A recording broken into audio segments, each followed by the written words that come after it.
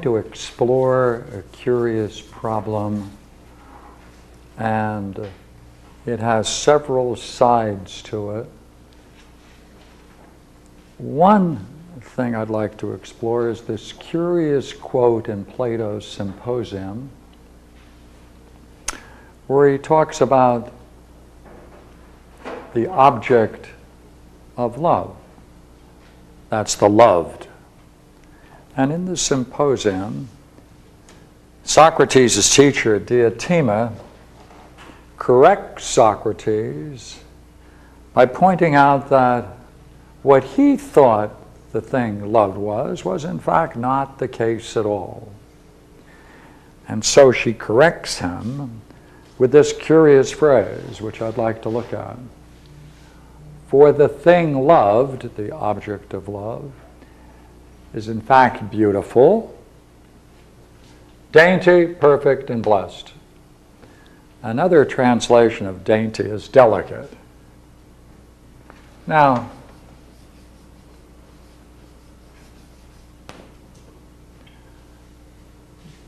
the object that they're talking about is the nature of beauty itself.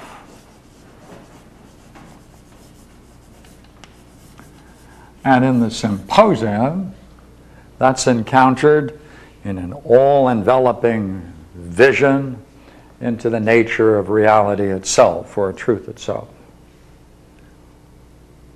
To call it dainty or delicate seems very curious because there's nothing fragile about it. It can't be that sense because it's overwhelming and powerful.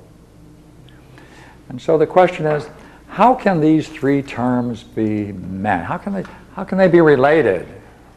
What meaning is there in them? So, this beautiful itself right, has three terms delicate or dainty, right, perfect and blessed, or divine. Now, that overwhelming experience of beauty itself is a luminous experience. And it's described, and people can describe it in so many ways. And you have to develop a vocabulary for it. Now, let's assume we have established a vocabulary for it by collecting all the terms that people might use to describe this overwhelming experience. All right, here we have them in here. Here they are. All the terms. Here they are. We're going to put them all in here. We have a question about it. Is there any special way in which these sh- should be combined? Is there any way they should be singled out? Is there any priority that some terms should be used ahead of others? Or is it just simply being overwhelmed with an object of beauty and we pour on the object of beauty all of these terms, and in that way we feel that we've described the beauty, the thing that is so remarkable to us. But no, we don't want to do that. We want to look at these terms and see in some way if there is an order and a hierarchy to them. Is there an order?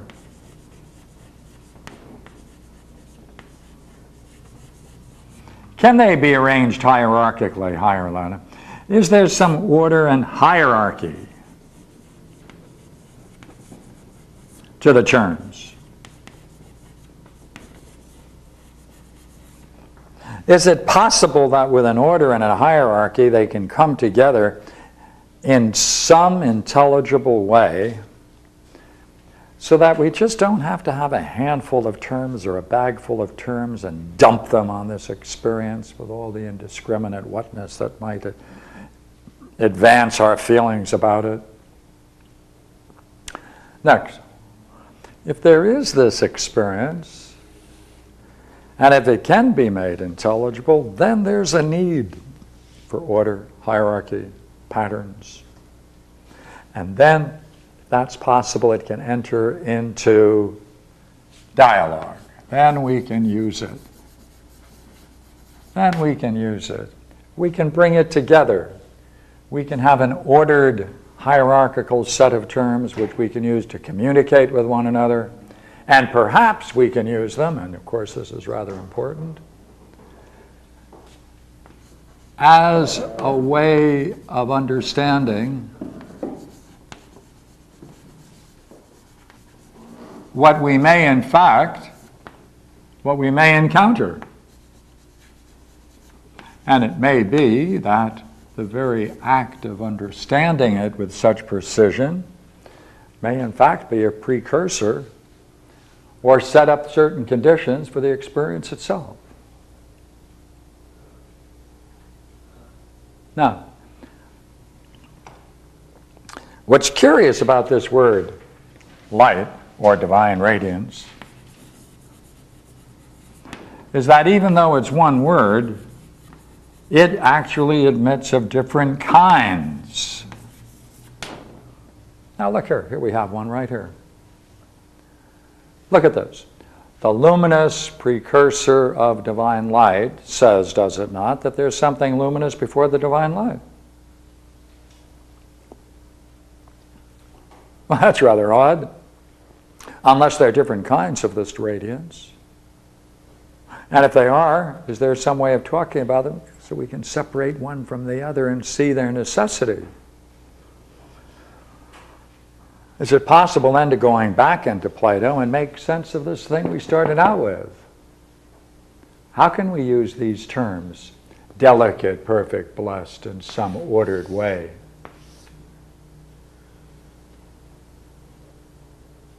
Because that's what Socrates does through Diotima. Therefore, what I'd like to do is to go into the theology of Proclus and just do one small section and I Xerox some sheets for you from the Thomas Taylor translation. And so I'm going to take you through what I think is a way to approach the subject. Now, in order to get into the subject, we have to talk about this divine radiance. We're talking about, we're going to take that term out. What is the nature then of the divine? That's what we want to take a look at. See, that's what we want to take a look. We want to see whether Proclus orders it in such a way, if we can follow the way he orders it. Maybe in the end of our search, looking at the nature of the divine, we can go back here and see what's, what is there about the strange word delicate and dainty that makes sense, because right on the surface it doesn't make sense at all. Well, from Plato, we know that everything divine is has three qualities. Again, we can set it out in this way. And luckily enough, the beautiful, the good, and the wise. The basic assumption of all of this is that the divine is not something transcendent, which means it doesn't touch anything else but remains aloof and apart from our everyday existence. But it must show itself in some way. The reflection of these three, these three things, the beautiful, good, and the wise,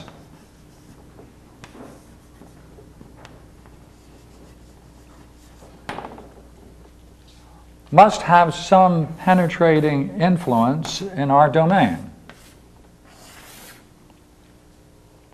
When it does, then we can change those terms to goodness, wisdom, and beauty.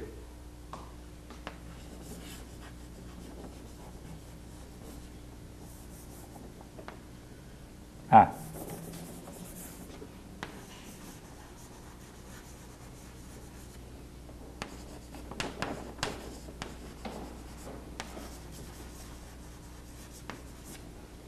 Same triad, only now we can see that if it pervades, if it pervades our universe, then it pervades also all the progressions of the gods. If this is the realm of the intelligible, and if it pervades everything in the intelligible, it must also pervade what Proclus calls all the gods. Now, we have a view of God which is not going to be useful because Proclus's idea of God is a principle. It's a principle. But it's not an intellectual principle in the way we usually use the term. It's a principle that has a certain vitality. Right? It's what we might call a vivifying principle that has a life, that has a vitality to it, has an intelligibility to it. That's what they call a God. And they may exhibit different aspects, and therefore they get different names. But essentially, it's a principle that has a vitality.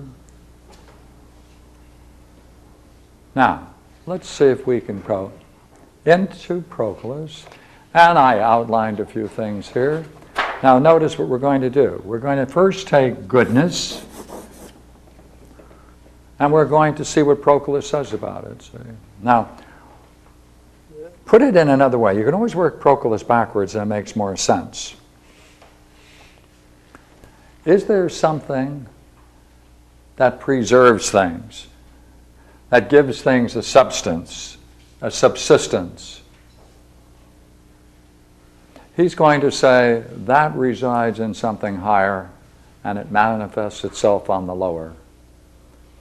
And he's also going to say that this kind of goodness exists on as, as a summit. Right? As a summit. And it's a vitality that overflows and therefore it fills all subordinate natures. See, it comes, it spills itself all over and therefore it penetrates into our domain. And this thing, which is goodness, pre exists in every single order to the degree that the first principle in any order is analogous to the first principle, which is this.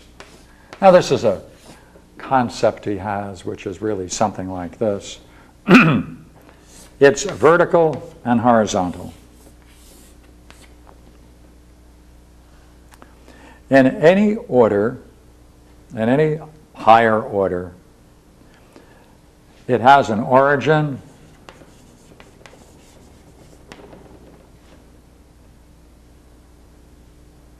and it also shows up in a series of terms. The first or the leading figure in the series of terms is always analogous to this highest expression in any order. That's what he means. So it pre-exists in every order. In every order, you have something that stands apart from it, that's responsible for the order. We could say that in terms of la- another language and say, in any set, the principle that orders the set stands above it, but all the members in the set, there's always the first member in that order, and that bears a certain relationship to all the succeeding members. And therefore, it has an immanent and a transcendent quality. Now, if you follow this, then, then as a result of this, we want to see something, this goodness. It spills over. And he wants to say about this goodness that there's nothing more perfect or good. This is going to be, therefore, a goodness that has a perfection. Now, we're going to see if we can collect all of these terms, remember, and we're going to put them in here as the sum set of terms that are used to describe the very nature of the thing, beauty itself, which is nothing other than the nature of the divine in one of its aspects. So let's take a look. Now, There are three elements of the good. So now look here, or goodness. So he's going to get three here. Why three? Why is a triangle a good example of what he does in his thinking? Because when he reflects on things, he has one principle, and that principle is for anything, for anything to progress, for anything to flow, for anything to be generated, It presupposes that there's going to be some principle of likeness. And that's a mean term. So therefore, there's always going to be something here that's going to be shared with both. So A is to B as B is to C. And that is a mean analogy. A is to B as B is to C. That must be there in order to fulfill the condition of likeness, because any two things for Plato, or for anyone, in order to be connected needs a third thing to join them. That third thing is a mean term. Now, going back to our concept of goodness, you need three things. If it's really good, it has three qualities it's desirable, it's sufficient, and it's perfect. Right? D, desirable. Desirable, by its very nature, it must be desired. I'll just put a D there because it's pretty good. It's sufficient, it doesn't need anything else. I'm going to put an S, right? And you know the last term is going to be perfect. We have to see how he talks about those three terms because we're going to go through this whole thing and discover all of those terms. Now, let's go to the text, have a little fun. Now, I am on uh, page 72. Three most principal elements of the good are the desirable, the sufficient, and the perfect. Just what we have. Why? For it's necessary that it should convert all things to itself, fill all things, in no respect deficient.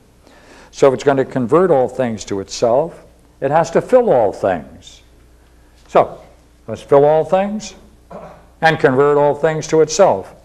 Whenever we say and deal with this idea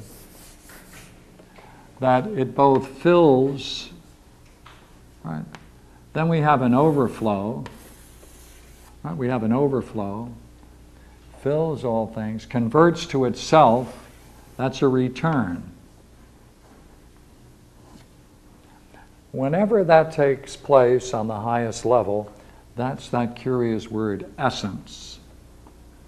Sometimes we use the word ousia. So, built into the very idea of goodness, very idea of goodness, is that it, it has the quality or the capacity to fill things, and as a result of that, it converts all things to itself. And now, look here. All things, therefore, are going to desire the good because they're going to be converted to it. Now we're going to pull out terms for the desirable. Please look, I'm on page 73. We can go right through this together. Now I'm going to hit some words and you can see how we can fill them in. The desirable is this as the supplier of light proceeds by his rays into secondary natures, plural. Right? Whatever, see, goodness is desirable. What does it do? How does it function? It's the supplier of light. It proceeds by these by its rays into secondary natures. Therefore, hey, you and I, secondary natures, we can get it. Right? That's what it is. Right? Therefore, it's a supplier of light. It converts the eye. It converts the eye to itself. Anything that's good, what happens? We're attracted to it, right? We're, we're filled with it. We, we want to look at it. We want to see it. Therefore, it converts the eye to itself and it causes us to light up and to resemble that which we seek. Right? It conjoins, brings us with the thing that we think is good, and it has a alluring and draws upward all things. That's what the good, anything you want to call good, that's what it does. It's alluring, it draws us towards it, it draws us upward, and in this case, if it draws us upward, what's above goodness but the good? So it draws all to the good itself. Now, if it does that, right, uh, it does this by, by its own proper illuminations. It's everywhere present to all things. That's how it does it. Now look here. This is kind of essential for Proclus. Right? It does this all the time. It's not, a, it's not an act of particular grace.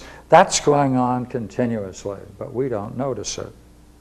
Therefore, the game is to try to see if in, case, if in fact it's the way he describes it by becoming aware of what he says exists all the time. Now, well, that's desirable. How about sufficient? I'm at the bottom of 73. Hey, if it's sufficient, if it is sufficient, it doesn't need anything, it's full of power. In every threesome that Proclus creates, you will always find the second term is power. Power, energy, vitality, something of that nature, right? a vitality. And sure enough, we have it here, right? The sufficient power proceeds to all things, extends to all. And insofar as it extends to all, this power can also, by the way, be called the gift of the gods. Right? That's way he calls it. So it extends it to all, all get it, therefore it's a gift of the gods. Sometimes, therefore, in other works, it's called a reflection of the will of the gods because it's a gift. Gift presupposes some kind of will. Now, if that's the case, that's the case, then we pull the two together. Then the desirable being firmly established, surpassing the whole of things, arranging all things about itself, the, the, the sufficient begins the progression and multiplication of all good. Hey, since it's sufficient, there's a stability of divine natures. Right. If there's a stability of such a divine nature, it's full of goodness. All beings are therefore benefited, abide in it, proceed from it, and being united to their principles, they're essentially right, absorbed in it, together with it. Now, going now to power. Notice the way he talks about power on 74. Power, therefore, is the is, is the subsistence of nature similar to themselves. They find the same intellectual genre, they come from the same class.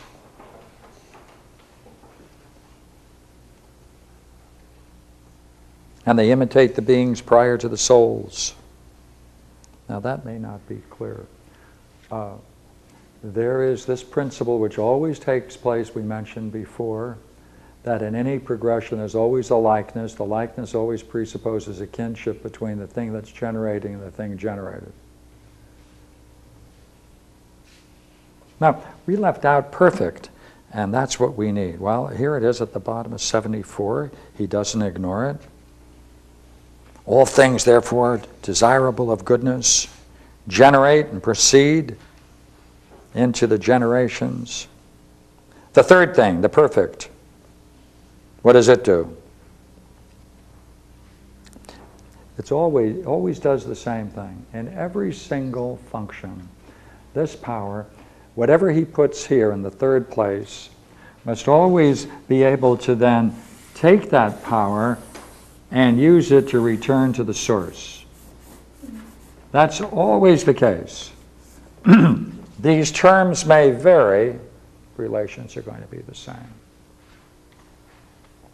relations are going to be the same. Let's see if that's the case. But the third thing, the perfect, is convertive. See, it converts of the whole of things and circularly collects them to their causes. See, returns it to its cause. And this is accomplished by divine intellectual and psychical and physical perfection. All things participate of such a conversion. They return to their principles. And the perfect, therefore, is mingled from the desirable and the sufficient. It's mingled with it. It's a result of it. It's mingled with it. So, have that same property that we had before. One, two, three. Those together bring us to the perfect. This, of course, would be power. Right? And necessarily, the highest would be uh, that wonderful thing um, which takes on desirable, but it's also the divine, and therefore you return to the desirable of the divine for Proclus. I'm on page 74. All things participate by conversion. The perfect, the perfect is mingled from the desirable and the sufficient. The desirable, therefore, establishes all things, comprehends them in itself. The, the sufficient excites them into progressions and generations. See? Excites them into progressions and generations because it's this is always productive, generative. It can go in two ways. In every single structure that he develops, it has this triadic sense to it. We can look at it here and see it This must be the cause, this must be the power, this must be the generating, uh, returning. And it returns this way, but it also can generate the next order below itself. So it always has these two aspects to it. And therefore, it can generate by going into what follows from it or what precedes it, returns to it or follows from it. And that's what he does. Let's see how he does it. See? The sufficient then excites them into progressions and generations. That's the sufficient. And the perfect consummately leads progressions to conversions and convolutions. And through these causes, these three causes, the goodness of the gods, fixing their unical power, right, the, un- the unity of their power, and authority of its proper hypostasis in this triad. Therefore, goodness fits in this higher triad. So there we have it. Here's goodness, right? Way up on top. Now, we just then go for the next two and fill it in. The next one is wisdom. The last one's going to be beauty. here we are. So now he's going to look at the same structure that we use. We can use again for wisdom. It's not going to be any different. The structure is going to be the same. The terms will vary.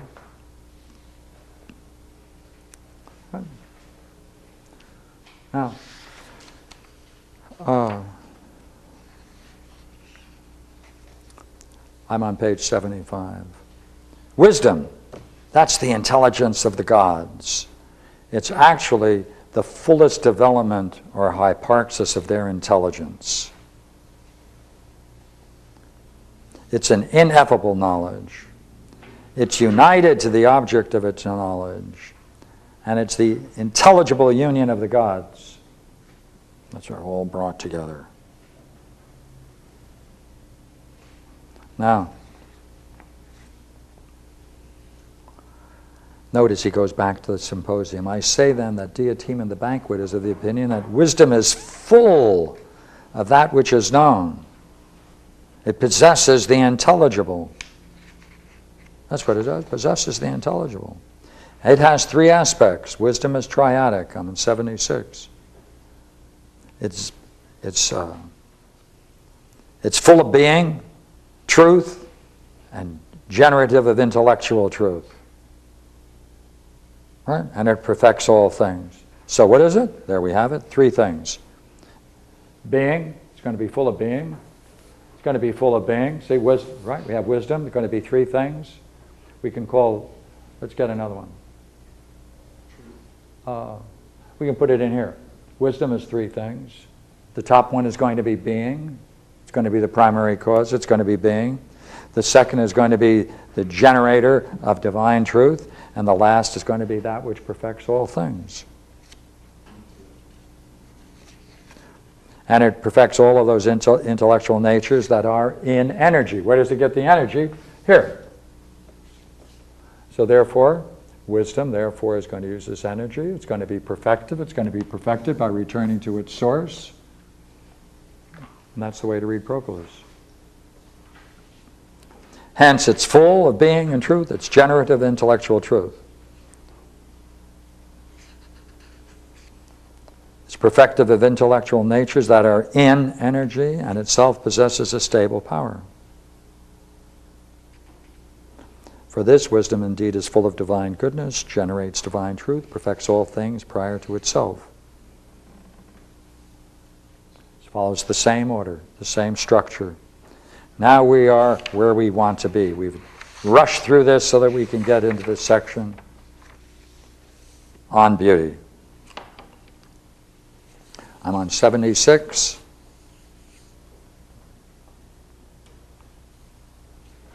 We're going to use the same thing. We're going to choose the same thing. We'll clean it up, make a little room, get our chalk, go to work. Consider the beautiful. What is it? And why can we say it subsists in the gods? It's said to be beautiful in respect to its form, which is good.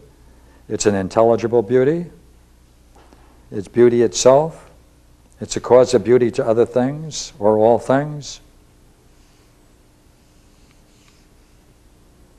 Now, he has an expression here that I would like to pause on. It subsists in the intellectual place. It proceeds from this to all the genera, all, the, all of the gods. It illuminates their superessential unities, and all the essence is suspended from these unities as far as the apparent vehicles of the gods. Let's take a look at here. See what he's, this is what he's saying.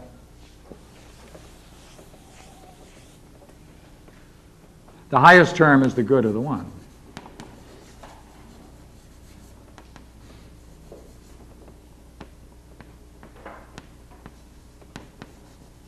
Metaphysically, the one thing that must be presupposed, the one thing that must be presupposed that follows from this is oneness.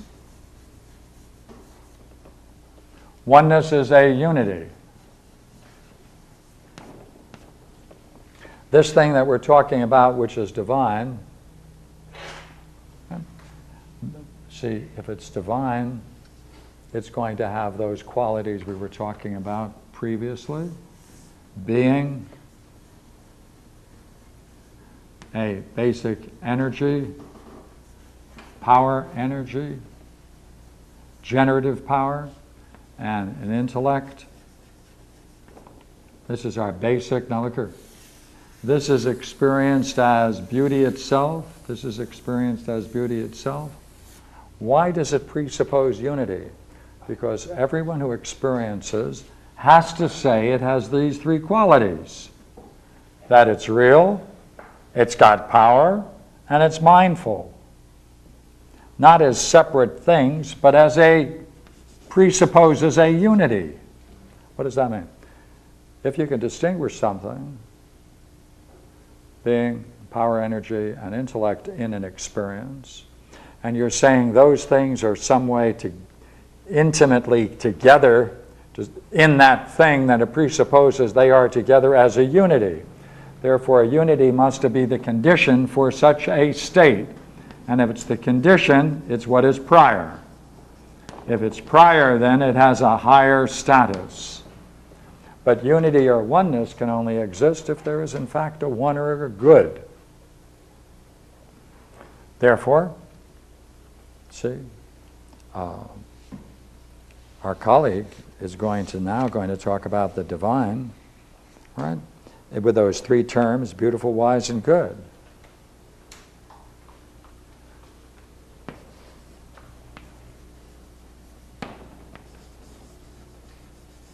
Now, uh, what's curious about this, or goodness, these changes those to goodness, remember, um, they shouldn't be arranged this way, but I'll, I'll change that later for a good reason. All right. I'm on this one phrase. It proceeds from this to all the genera of the gods. It illuminates their unities, superessential unities, and all the essences suspended from these unities as far as the apparent vehicles to the gods. Right? See, it illuminates the unities, that's here. It illuminates the unities and all the essences, essence is another word for unity, that are suspended from it, that are suspended from it, that are suspended from it. What's suspended from it is this very thing we're talking about.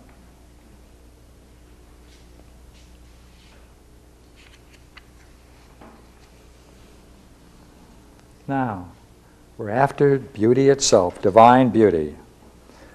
Uh, now he's going to set up a curious threesome on several levels. Let's see how he does it. I'm on page 77. Divine beauty. It's the supplier of divine hilarity, familiarity, friendship. There's your three. It's the supplier of it. That's not what it is, it's the supplier of it. Through this, the gods are united to, rejoice in each other, admire, and are delighted in communicating with each other, and in their mutual replenishments, since they do not desert the order in which they are always allotted in the distributions of themselves. Therefore, what state are they in? As a result of divine hilarity, familiarity, and friendship, which he calls the supplier. Divine beauty is the supplier of these three things. As a result of these things being in place, the gods therefore are one, united.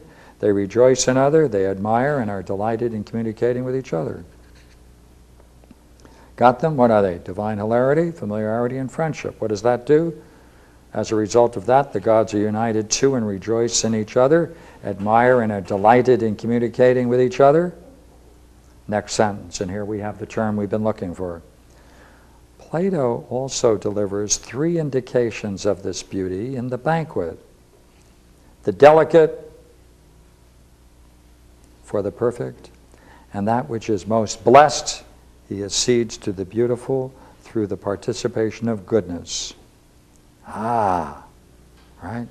Plato also indicates, right, three indications of this beauty in the banquet. That banquet, of course, is the symposium.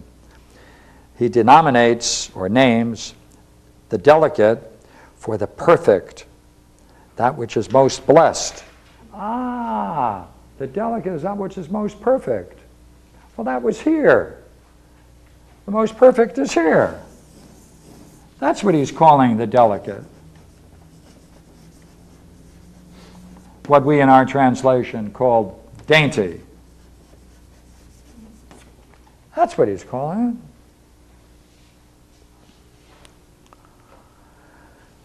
indeed denominating it the delicate for the perfect and that which is most blessed, right? Accedes to the beautiful through the participation of goodness. It part, what does it do? It accedes, it accedes to the beautiful through the participation of goodness. Oh. Oh, that's what we said. That's right.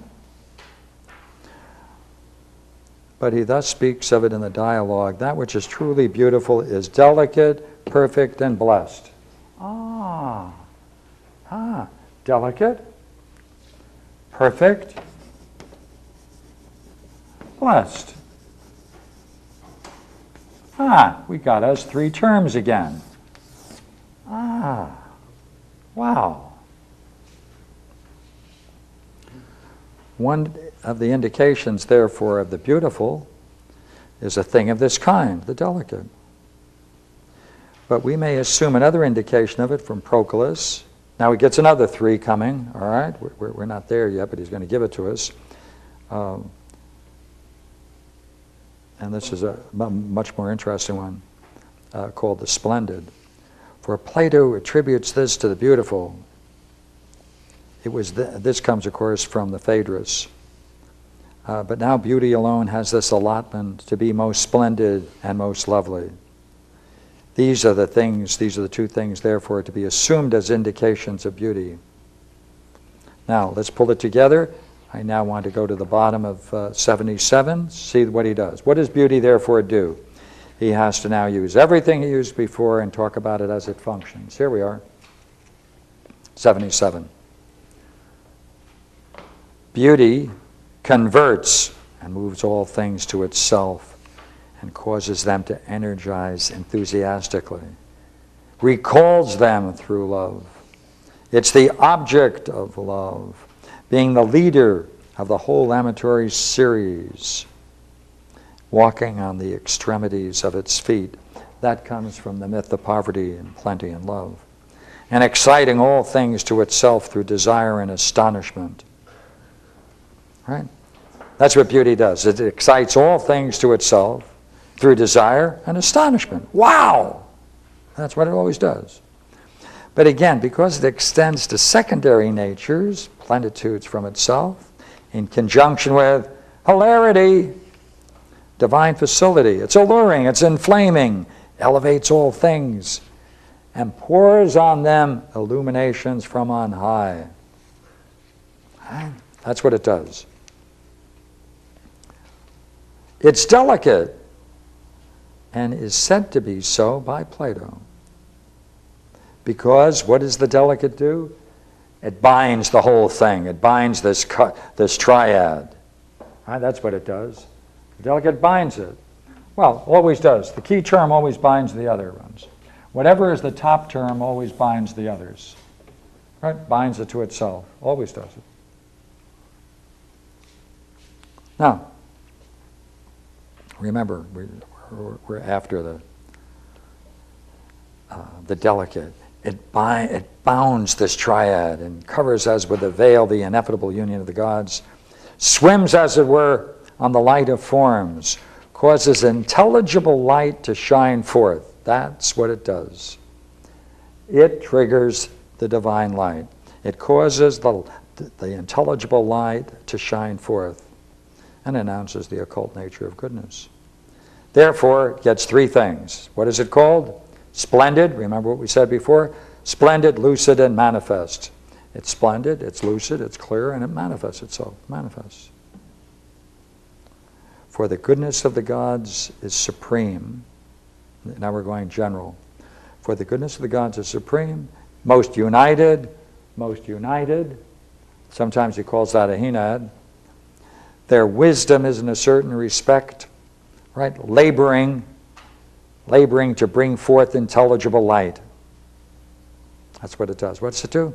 The goodness of God is supreme. It's most united. The wisdom is in a certain, a certain respect now doing what? It's bringing forth. It's in labor with what? Intelligible light and the first forms. But their beauty is established in the highest forms. It's the luminous precursor of divine light. by heavens, that was the title we gave to this talk. It's the first thing that is apparent to ascending souls. Now he has a hierarchy. Hey, first thing, to ascending souls, they're attracted to beauty.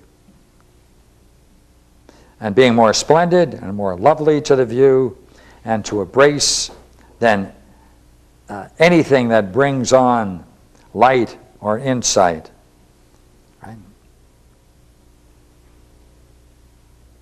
It's the first thing that is apparent to ascending souls. It's more splendid, more lovely to their view.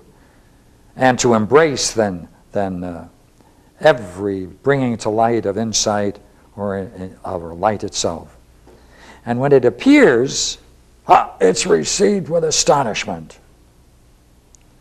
This triad, therefore, filling all things and proceeding through all things, it is certainly necessary that the natures which are filled should be converted to, and conjoin with each other to the three uh, th through kindred, though not the same media. That's what he's done. Now we can go back now, and you can see what he's done. We can collect all of these terms, and we can say we can put them in here. We can put all the terms in here, and we can see what he's doing. What he's doing is, with a couple of principles, and the basic principle that orders his terms right, is always the same. Certain terms presuppose others. There's always going to be a dynamic force that's going around. The dynamic force always proceeds from something here, the top the summit, that overflows. As a consequence, there is some power if it overflows We can talk about it as a power. That power has a direction. It's not mindless intellect. That intellect then seeks both to return to its source and to generate other kinds of entities or powers. That's what he has. He has this hierarchy, precondition of terms, and then notice what he does. He has this just the way it is, and he says, Well, look here. We want to see the divine nature. That's what we want to see. All right, let's go back. We can quickly scan it and put the whole thing together. Right? What is it that's in every divine nature? Every divine nature must have a beauty, right? Because every divine nature is three things. What is it? Beautiful, wise, and good. It's a mixture of beautiful, wise, and good. When it shows itself, what is it? Uh, goodness, wisdom, and the beauty itself. Beauty itself then is like being. It's a substance, right? The wise, therefore, is going to be a power. It's going to generate and this is going to return. All right. Notice what he's doing there for. All right, for that to for that to take place, for that to take place, it presupposes presupposes for anything. Well, it must if everything is going to return to it, it must be three things. It must be desirable. Ah, desirable now is this one. Right?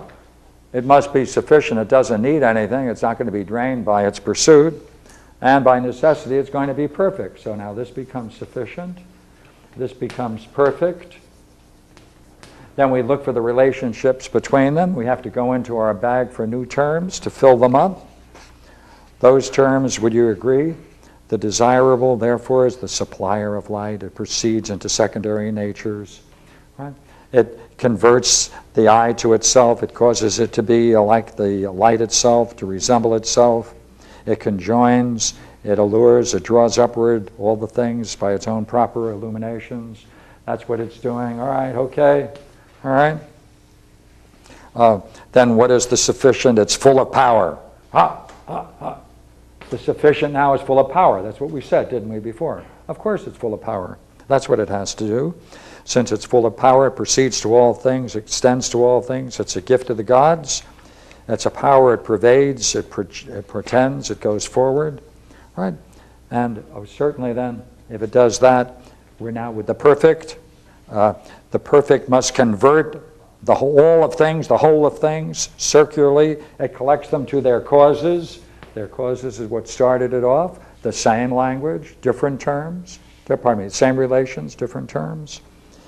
It circularly collects them to their causes, and this is accomplished by divine intellectual, right? That is, you can't do this, you can't return unless there's some sense of intellect, but you have to know where you're going and how to get there. So it presupposes some kind of intellect.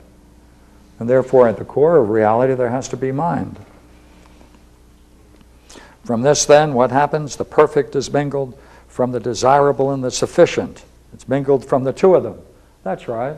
And with that, mingled with the two of them, therefore, it can then be said to be a unity.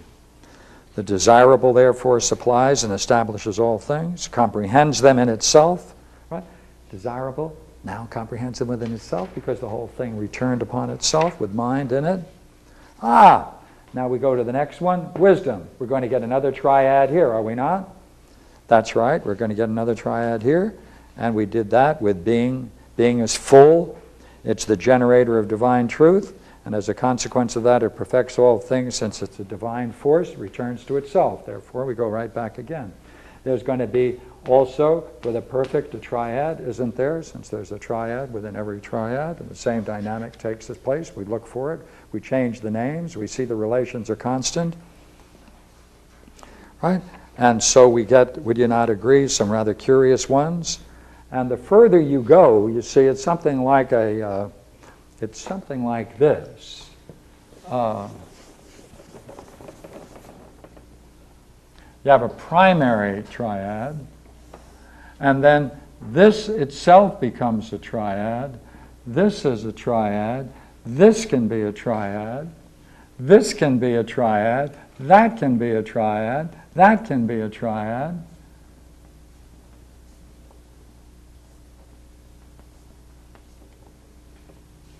And he even has the case where you can talk about this. take it out. Itself is a triad. Why? Relations are going to be constant. When he needs it, the terms will vary, and therefore he can use the vocabulary. Now, what is significant about this is that each time you do this, your progression to another triad, your terms are lower. So instead of saying joy, you get divine hilarity.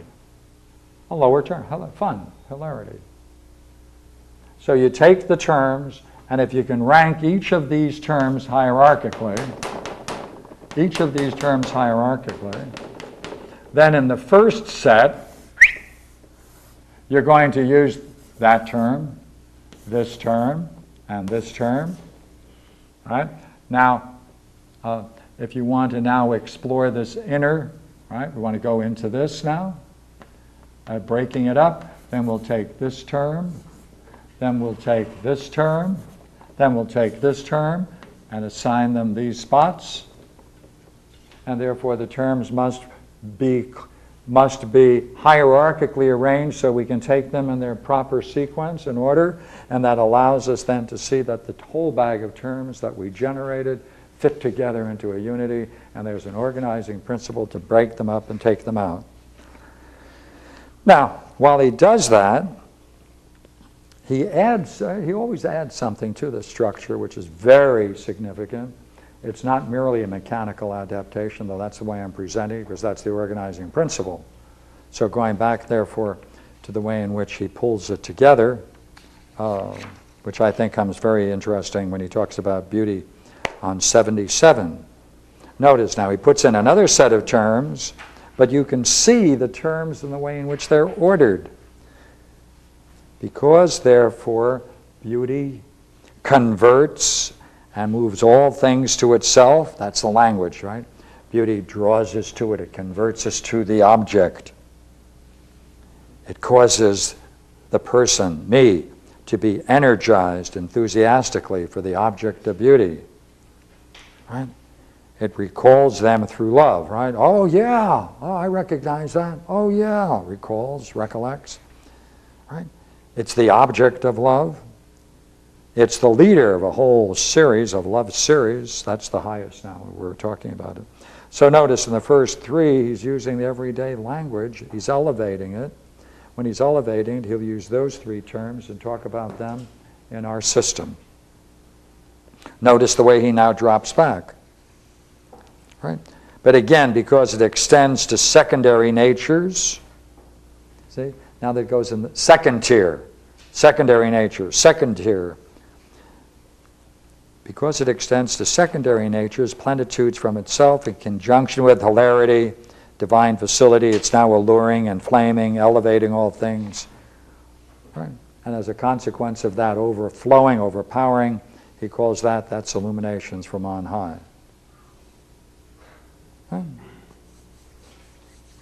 Now, notice now we're going to look for the unique terms that he brings in. Well, you couldn't kind of guess it because this becomes his particular way of saying within a rigid structure. And because it bounds this triad on 78, the delicate, and covers as with a veil the ineffable union of the gods, swims, as it were, on the light of forms, causes intelligible light to shine forth, and announces the occult nature of goodness. See, that's where he now goes personally and he pulls out personal terms, and you have to get used to that set of terms. These are, these are general, now he goes into his own experience and picks out those terms appropriate for his own experience, and he then weaves them into his philosophy, and that's the particular Proclean terms with the richness of his own personal and private experience he now makes public and shares with us. That's what he does. See? That's what he does. Which terms? Pardon? And because it bounds this triad, that's okay. That's, the that's what the last term always does. Pardon me, the primary term always does. It binds them. Now, it covers as with a veil the ineffable union of the gods, one. Two, Right? It swims, as it were, on the light of forms, causes intelligible light to shine forth, announces the occult nature of goodness. And it's called the splendid, the lucid, and the manifest. That language, right, which is it swims, as it were, on the light of forms. It causes intelligible light to shine forth. That's out of his own experience. Right. Well, that's what I wanted to do. That's what I wanted to bring to you tonight. I know I put you through some hard reading, but that was my goal. He's got all these words when he says that the union of the gods is inevitable. That's right. See, the union of the gods, see, that's going to be the pr- divine principles, which we talked about before. Yeah. Yeah. Thank you, gentlemen ladies. Thank you. Another curious evening.